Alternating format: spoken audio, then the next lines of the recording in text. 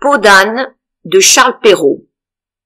Lecture de Sylvie Morel Pinatel. Il était une fois un roi si grand, si aimé de ses peuples, si respecté de tous ses voisins et de ses alliés, qu'on pouvait dire qu'il était le plus heureux de tous les monarques. Son bonheur était encore confirmé par le choix qu'il avait fait d'une princesse aussi belle que vertueuse. Et ses heureux époux vivaient dans une union parfaite. De leur chaste hymen était née une fille, douée de tant de grâce et de charme, qu'il ne regrettait pas de n'avoir pas une plus ample lignée. La magnificence, le goût et l'abondance régnaient dans son palais. Les ministres étaient sages et habiles, les courtisans vertueux et attachés, les domestiques fidèles et laborieux, les écuries vastes et remplies des plus beaux chevaux du monde, couverts de riches caparaçons. Mais ce qui étonnait les étrangers qui venaient admirer ces belles écuries, c'est qu'au lieu le plus apparent, un maître âne étalait de longues et de grandes oreilles. Ce n'était pas par fantaisie, mais avec raison que le roi lui avait donné une place particulière et distinguée. Les vertus de ce rare animal méritaient cette distinction, puisque la nature l'avait formé si extraordinaire que sa litière, au lieu d'être malpropre, était couverte tous les matins avec profusion de beaux écus au soleil et de louis d'or de toute espèce qu'on allait recueillir à son réveil. Or, comme les vicissitudes de la vie s'étendent aussi bien sur les rois que sur les sujets, et que toujours les biens sont mêlés de quelques mots, le ciel permit que la reine fut tout à coup attaquée d'une âpre maladie, pour laquelle, malgré la science et l'habileté des médecins, on ne put trouver aucun recours. La désolation fut générale. Le roi, sensible et amoureux, malgré le proverbe fameux qui dit que l'hymen est le tombeau de l'amour, s'affligeait sans modération faisait des vœux ardents à tous les temples de son royaume, offrait sa vie pour celle d'une épouse si chère.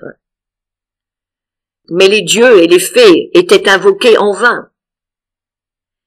La reine, sentant sa dernière heure approcher, dit à son époux qui fondait en larmes.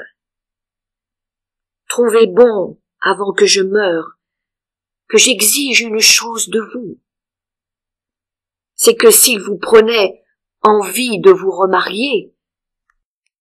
À ces mots, le roi fit des cris pitoyables, prit les mains de sa femme, les baigna de pleurs, et, l'assurant qu'il était superflu de lui parler d'un second hyménée. Non, non, dit-il enfin, ma chère reine, parlez-moi plutôt de vous suivre. L'État reprit la reine avec une fermeté qui augmentait les regrets de ce prince. L'État doit exiger des successeurs. Et, comme je ne vous ai donné qu'une fille, vous pressez d'avoir des fils qui vous ressemblent. Mais je vous demande instamment, par tout l'amour que vous avez eu pour moi, de ne céder à l'empressement de vos peuples que lorsque vous aurez trouvé une princesse plus belle et mieux faite que moi. J'en veux votre serment. Et alors je mourrai contente. On présume que la reine, qui ne manquait pas d'amour-propre, avait exigé ce serment, ne croyant pas qu'il fût au monde personne qui pût l'égaler pensant bien que c'était s'assurer que le roi ne se remarierait jamais. Enfin, elle mourut. jamais Marie ne fit tant de vacarme. Pleurer, sangloter, jour et nuit. Menu droit du veuvage furent son unique occupation. Les grandes douleurs ne durent pas. D'ailleurs, les grands de l'État s'assemblèrent et vinrent encore prier le roi de se remarier. Cette première proposition lui parut dure et lui fit répandre de nouvelles larmes. Il allégua le serment qu'il avait fait à la reine, défiant tous ses conseillers de pouvoir trouver une princesse plus belle et mieux faite que feu sa femme, pensant que cela était impossible. Mais le conseil traita de babiole une telle promesse, et dit qu'il importait peu de la beauté, pourvu qu'une reine fût vertueuse et point stérile. Que l'État demandait des princes, pour son repos et sa tranquillité. Qu'à la vérité, l'infante avait toutes les qualités requises pour faire une grande reine, mais qu'il fallait lui choisir un étranger pour époux, et qu'alors, ou cet étranger l'emmènerait chez lui, ou que s'il régnait avec elle, ses enfants ne seraient plus réputés du même sang, et que, n'y ayant point de prince de son nom, les peuples voisins pourraient leur susciter des guerres qui entraîneraient la ruine du royaume. Le roi frappé de ces considérations, promit qu'il songerait à les contenter. Effectivement, il chercha, parmi les princesses à marier, qui serait celle qui pourrait lui convenir? Chaque jour, on lui apportait des portraits charmants, mais aucun n'avait les grâces de la feu reine. Ainsi, il ne se déterminait point. Malheureusement, il s'avisa de trouver que l'infante, sa fille, était non seulement belle et bien faite à ravir, mais qu'elle surpassait encore de beaucoup la reine sa mère en esprit et en agrément.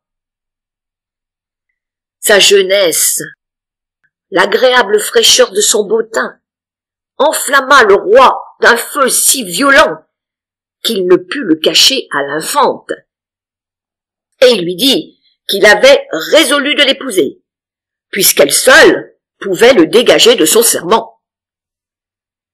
La jeune princesse, remplie de vertu et de pudeur, pensa s'évanouir à cette horrible proposition. Elle se jeta aux pieds du roi, son père, et le conjura, avec toute la force qu'elle put trouver dans son esprit, de ne la pas contraindre à commettre un tel crime. Le roi, qui s'était mis en tête ce bizarre projet, avait consulté un vieux druide pour mettre la conscience de la princesse en repos. Ce druide, moins religieux qu'ambitieux, sacrifia, à l'honneur d'être confident d'un grand roi, l'intérêt de l'innocence et de la vertu, et s'insinua avec tant d'adresse dans l'esprit du roi, lui adoucit tellement le crime qu'il allait commettre, qu'il lui persuada même que c'était une œuvre pie que d'épouser sa fille. Ce prince, flatté par le discours de ce scélérat, l'embrassa et revint d'avec lui plus entêté que jamais dans son projet. Il fit donc ordonner à l'infante de se préparer à lui obéir. La jeune princesse, outrée d'une vive douleur, n'imagina rien d'autre chose que d'aller trouver la fée des lilas, sa marraine. Pour cet effet, elle partit la même nuit dans un joli cabriet attelé d'un gros mouton qui savait tous les chemins. Elle y arriva heureusement. La fée, qui aimait l'infante, lui dit qu'elle savait tout ce qu'elle venait lui dire, mais qu'elle n'eut aucun souci. Rien ne pouvait lui nuire si elle exécutait fidèlement ce qu'elle allait lui prescrire.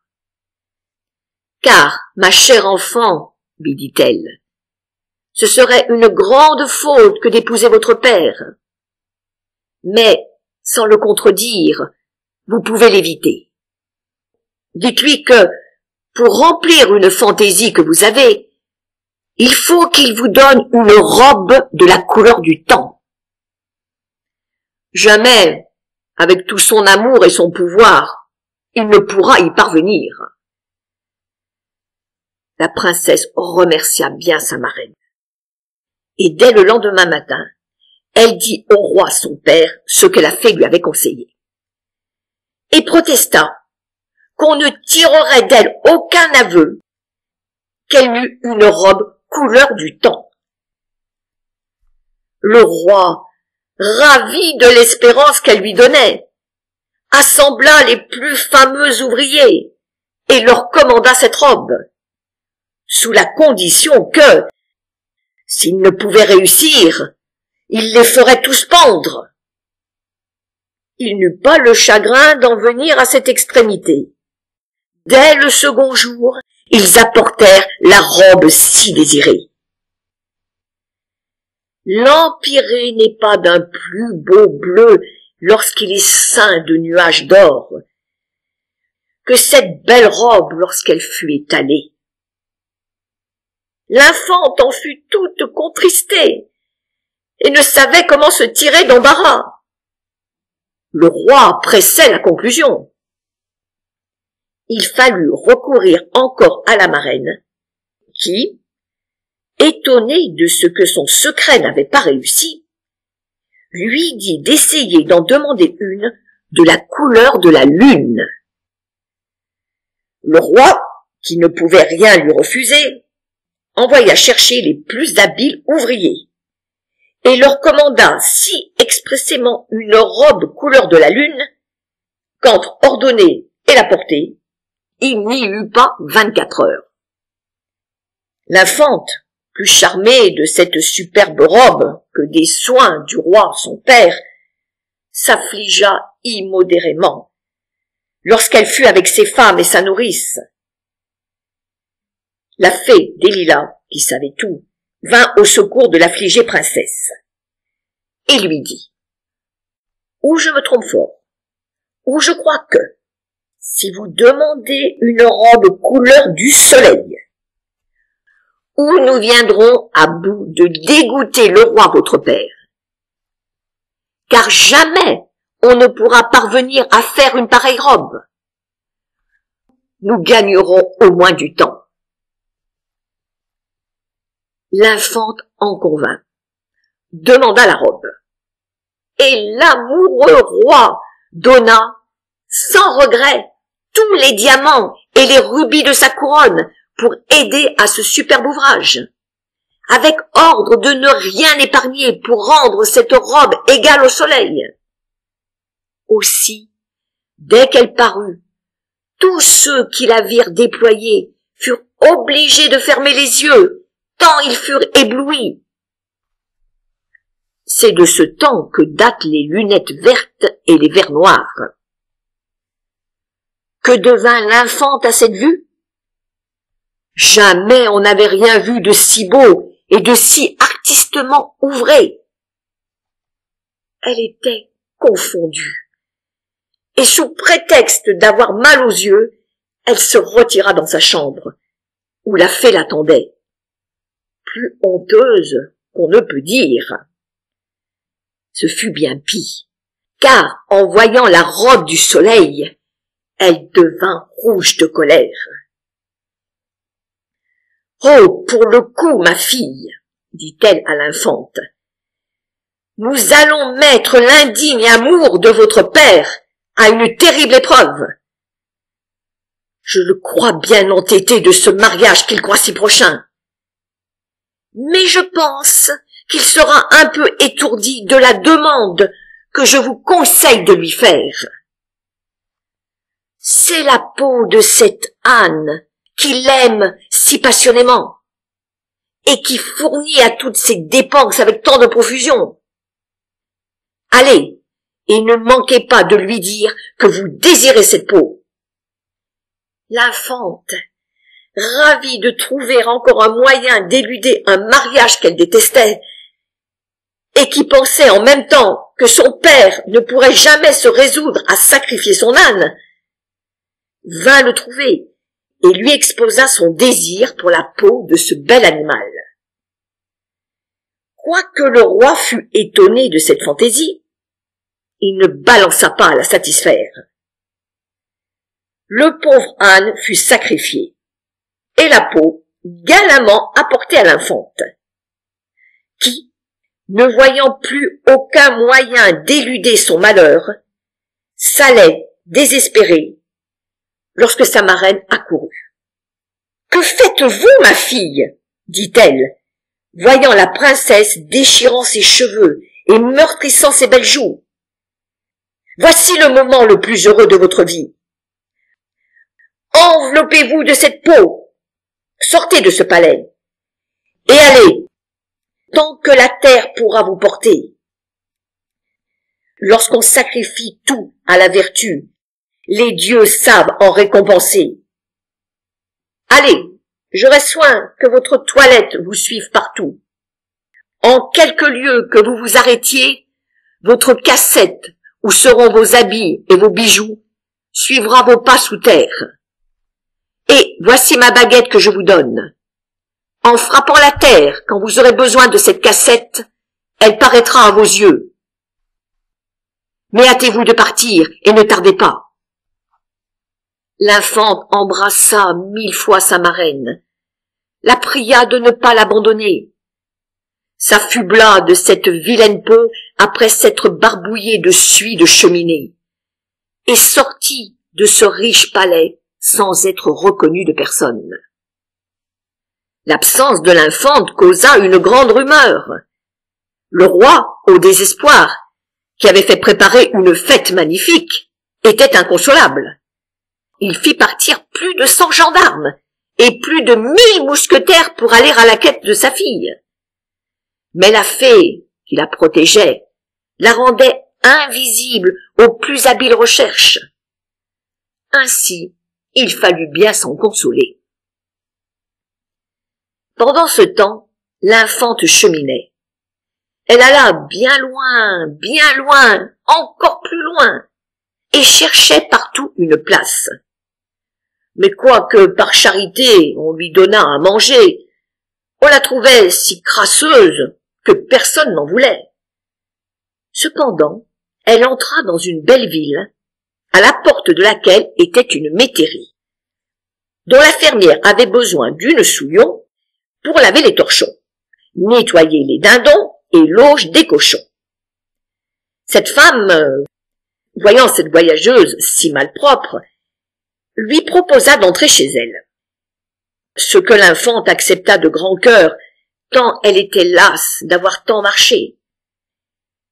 On la mit dans un coin reculé de la cuisine, où elle fut, les premiers jours, en but aux plaisanteries grossières de la valtaille, tant sa peau d'âne la rendait sale et dégoûtante.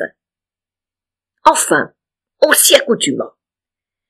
D'ailleurs, elle était si soigneuse de remplir ses devoirs que la fermière la prit sous sa protection. Elle conduisait les moutons, les faisait parquer au temps où il le fallait.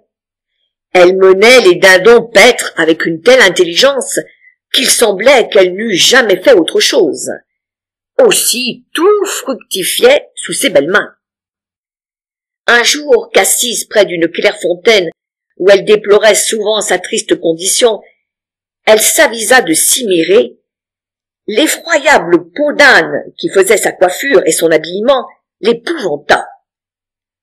Honteuse de cet ajustement, elle se décrassa le visage et les mains qui devinrent plus blanches que l'ivoire, et son beau teint reprit sa fraîcheur naturelle. La joie de se trouver si belle lui donna envie de s'y baigner, ce qu'elle exécuta. Mais il lui fallut remettre son indigne peau pour retourner à la métairie. Heureusement, le lendemain était un jour de fête. Ainsi, elle eut le loisir de tirer sa cassette, d'arranger sa toilette, de poudrer ses beaux cheveux, et de mettre sa belle robe couleur du temps. Sa chambre était si petite que la queue de cette belle robe ne pouvait pas s'étendre. La belle princesse se mira et s'admira elle-même avec raison, si bien qu'elle résolut, pour se désennuyer, de mettre tour à tour ses belles robes, les fêtes et les dimanches, ce qu'elle exécuta ponctuellement. Elle mêlait des fleurs et des diamants dans ses beaux cheveux, avec un art admirable. Et souvent, elle soupirait de n'avoir pour témoin de sa beauté que ses moutons et ses dindons, qu'il aimait autant avec son horrible peau dont on lui avait donné le nom dans cette ferme. Un jour de fête, que Podane avait mis la robe couleur du soleil, le fils du roi, à qui cette ferme appartenait, vint y descendre pour se reposer en revenant de la chasse. Ce prince était jeune, beau et admirablement bien fait. L'amour de son père et de la reine sa mère, adoré des peuples. On offrit à ce jeune prince une collation champêtre, qu'il accepta. Puis il se mit à parcourir les basses-cours et tous les recoins. En courant ainsi de lieu en lieu, il entra dans une sombre allée au bout de laquelle il vit une porte fermée. La curiosité lui fit mettre l'œil à la serrure. Mais que devint-il en apercevant la princesse si belle et si richement vêtue Qu'à son air noble et modeste, il la prit pour une divinité.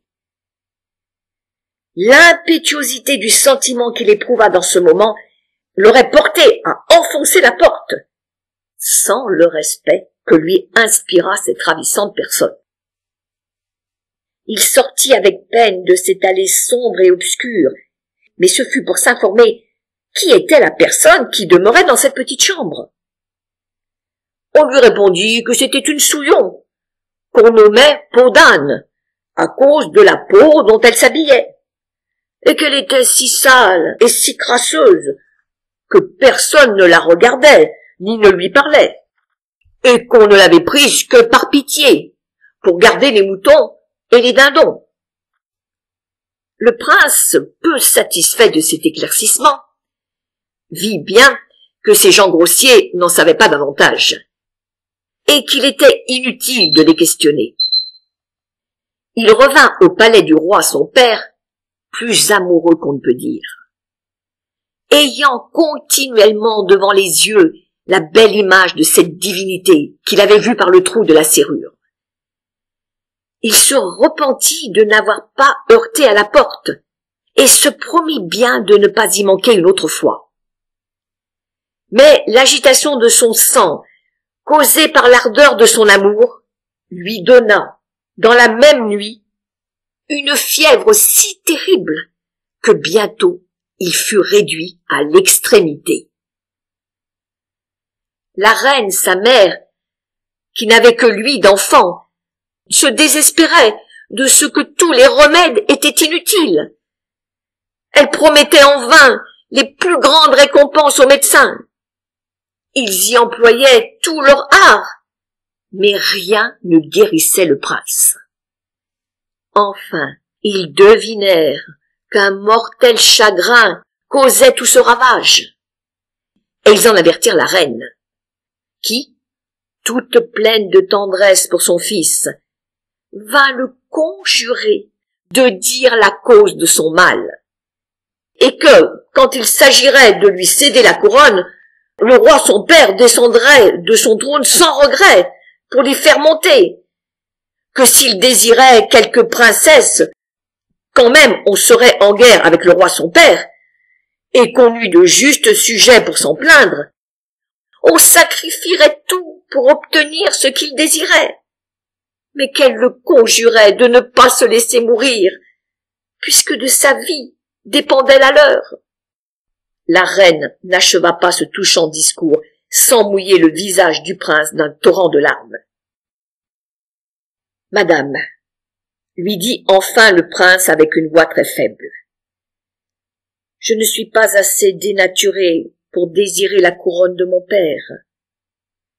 Plaise au ciel qu'il vive de longues années, et qu'ils veulent bien que je sois longtemps le plus fidèle et le plus respectueux de ses sujets. Quant aux princesses que vous m'offrez, je n'ai point encore pensé à me marier. Et vous pensez bien que, soumis comme je le suis à vos volontés, je vous obéirai toujours, quoi qu'il m'en coûte. Ah, mon fils, reprit la reine, rien ne me coûtera pour te sauver la vie. Mais, mon cher fils, sauve la mienne et celle du roi ton père, en me déclarant ce que tu désires, et sois bien assuré qu'il te sera accordé. Eh bien, madame, dit-il, puisqu'il faut vous déclarer ma pensée, je vais vous obéir. Je me ferai un crime de mettre en danger deux êtres qui me sont si chers. Oui, ma mère. Je désire que Podane me fasse un gâteau, et que, dès qu'il sera fait, on me l'apporte. La reine, étonnée de ce nom bizarre, demanda qui était cette Podane. C'est madame, reprit un de ses officiers qui par hasard avait vu cette fille. C'est la plus vilaine bête après le loup. Une peau noire, une crasseuse, qui loge dans votre métairie, et qui garde vos dindons. N'importe, dit la reine. Mon fils, au retour de la chasse, a peut-être mangé de sa pâtisserie. C'est une fantaisie de malade. En un mot, je veux que Podane, puisque Podane il y a, lui fasse promptement un gâteau. On courut à la métairie, et l'on fit venir Podane pour lui ordonner de faire de son mieux un gâteau pour le prince. Quelques auteurs ont assuré que Podane, au moment que ce prince avait mis l'œil à la serrure, les siens l'avaient aperçu. Et puis que, regardant par sa petite fenêtre, elle avait vu ce prince si jeune, si beau et si bien fait, que l'idée lui en était restée, et que souvent ce souvenir lui avait coûté quelques soupirs.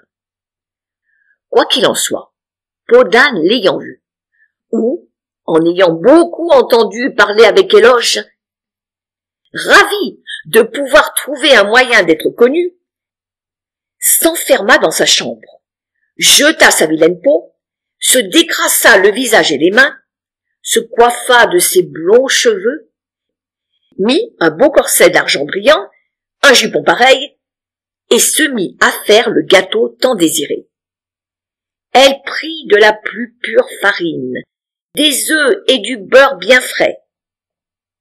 En travaillant, soit de dessin, ou autrement, une bague qu'elle avait au doigt tomba dans la pâte, s'y. Et dès que le gâteau fut cuit, s'affublant de son horrible peau, elle donna le gâteau à l'officier, à qui elle demanda des nouvelles du prince. Mais cet homme, ne daignant pas lui répondre, courut chez le prince lui porter ce gâteau. Le prince le prit avidement des mains de cet homme. Et le mangea avec une telle vivacité que les médecins qui étaient présents ne manquèrent pas de dire que cette fureur n'était pas un bon signe. Effectivement, le prince pensa s'étrangler par la bague qu'il trouva dans un des morceaux du gâteau. Mais il la tira adroitement de sa bouche, et son ardeur à dévorer ce gâteau se ralentit en examinant cette fine émeraude montée sur un jonc d'or, dont le cercle était si étroit qu'il jugea ne pouvoir servir qu'au plus joli doigt du monde.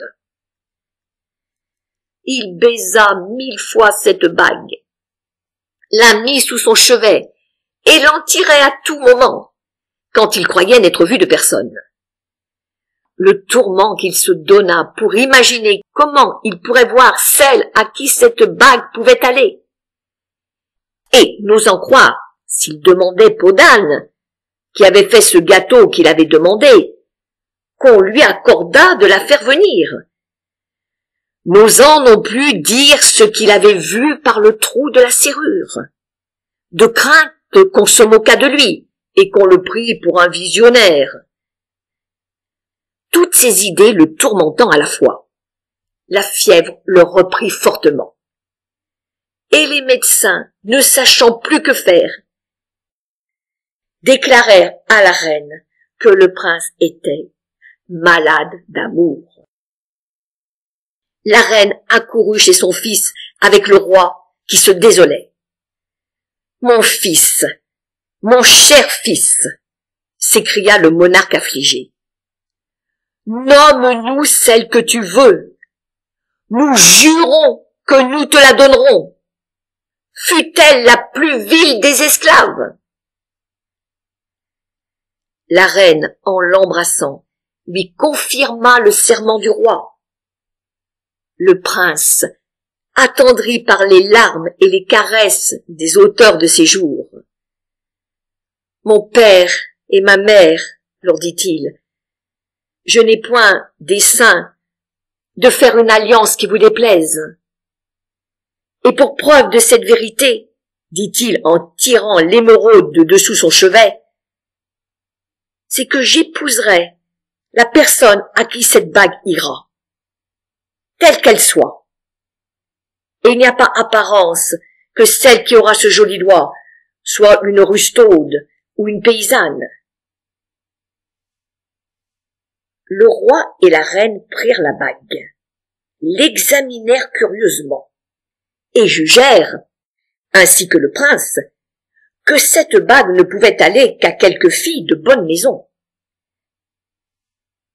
Alors le roi, ayant embrassé son fils en le conjurant de guérir, sortit, fit sonner les tambours, les fifres et les trompettes par toute la ville, et crier par ses héros que l'on n'avait qu'à venir au palais essayer une bague, et que celle à qui elle irait juste épouserait l'héritier du trône. Les princesses d'abord arrivèrent, puis les duchesses, les marquises et les baronnes. Mais elles eurent beau toutes s'amenuiser les doigts, aucune ne put mettre la bague. Il en fallut venir aux grisettes, qui, toutes jolies qu'elles étaient, avaient toutes les doigts trop gros. Le prince, qui se portait mieux, faisait lui-même l'essai. Enfin, on en vint aux filles de chambre. Elles ne réussirent pas mieux.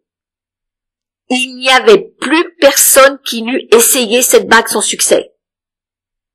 Lorsque le prince demanda les cuisinières, les marmitonnes, les gardeuses de moutons, on amena tout cela. Mais leurs gros doigts rouges et courts ne purent seulement aller par-delà l'ongle. A-t-on fait venir cette peau d'âne qui m'a fait un gâteau ces jours derniers, dit le prince. Chacun se prit à rire et lui dire que non, tant elle était sale et grasseuse. Qu'on l'aille chercher tout à l'heure, dit le roi. Il ne sera pas dit que j'ai excepté quelqu'un. On courut, en riant et se moquant, chercher la dindonnière.